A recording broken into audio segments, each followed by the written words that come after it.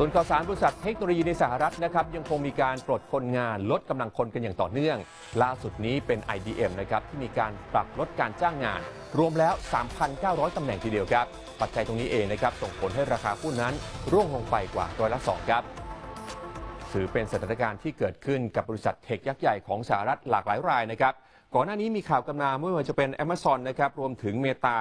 แล้วก็หุ้นที่เกี่ยวข้องกับบริษัทเทคโนโลยีอย่าง Twitter นะครับ ล่าสุดนี้เองเป็นทาง IBM Corp ซึ่งเป็นบริษัทเทคโนโลยีรายใหญ่ของทางสหรัฐ ได้มีการปรับลดพนักงานกว่า 3,900 คนด้วยกัน ซึ่งเป็นส่วนหนึ่งในแผนการแยกสินทรัพย์บางส่วน และเกิดขึ้นหลังจากที่บริษัทพลาดเป้าหมายกระแสเงินสดรายปีครับ การปลดพนักงานดังกล่าวนะครับเป็นส่วนหนึ่งของการตัดแยกธุรกิจในบริษัท Kyndryl นะครับซึ่งแยกออกไป รวมถึงบริษัท Watson Health ซึ่งจะทำให้เกิดการใช้จ่ายนะครับในการลดคน ประมาณ 300 ล้านดอลลาร์ ในช่วงเดือนมกราคมถึงมีนาคมนี้ครับ คุณเจมส์คาวานอนะครับซึ่งเป็นประธานเจ้าหน้าที่ฝ่ายการเงินของ IBM ระบุว่าบริษัทยังคงให้คำมั่น ที่จะจ้างงานในส่วนของการวิจัยและพัฒนาเพื่อตอบสนองลูกค้า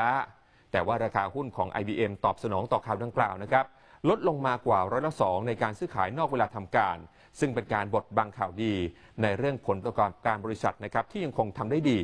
สาเหตุที่นักวิเคราะห์มองข้ามนะครับก็เพราะว่าราคาที่หุ้นที่ลดลงมาเนี่ยมาจากการลดพนักงานนะครับแล้วก็การที่บริษัทพลาดเป้าหมายในการสะสมกระแสเงินสดทั้งนี้กระแสเงินสดของ IBM นะครับในปีที่แล้วอยู่ที่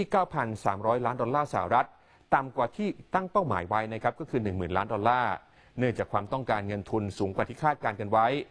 ขณะที่เจสโคเฮนนะครับนักวิเคราะห์อาวุโสของ investing.com ระบุว่าตลาดนั้นผิดหวังกับการปรับลดพนักงานของ IBM ซึ่งคิดเป็นสัดส่วนร้อยละ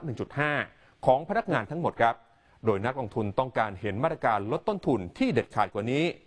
IBM นะครับเป็นบริษัทล่าสุดที่เป็นบริษัทยักษ์ใหญ่นะครับไปจนถึงธนาคารที่มีการปรับลดต้นทุนเพื่อรับกับภาวะเศรษฐกิจที่ชะลอตัวทั่วโลกครับ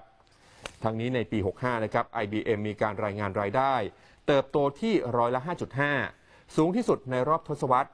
นอกจากนี้ IBM ยังคงคาดการรายได้ในปีนี้ จะเติบโตในเลขหลักเดียวช่วงกลางๆครับ เนื่องจากว่าลูกค้าต้องระมัดระวังการใช้จ่าย ท่ามกลางความกังวล เรื่องเศรษฐกิจถดถอยที่เพิ่มขึ้นมา